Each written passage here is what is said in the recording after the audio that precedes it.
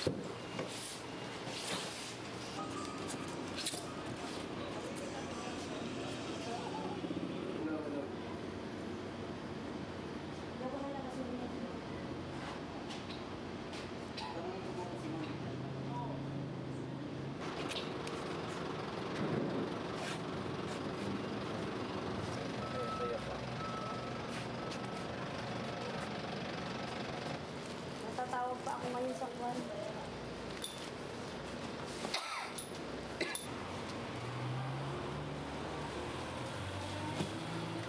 Siguro meron din pong local consumption but uh, most of them um, siguro po siniship abroad kasi dito sa Philippines hindi naman ganun ka, ka very uh, hindi naman po natin masyadong naririnig na ganun ka ano yung mga Filipinos as regards sa use ng uh, dried sea, sea horses or sea dragons.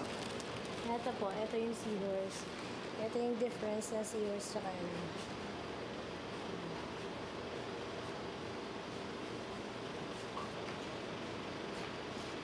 Side view nga, ma'am. Side view. Yung ano po.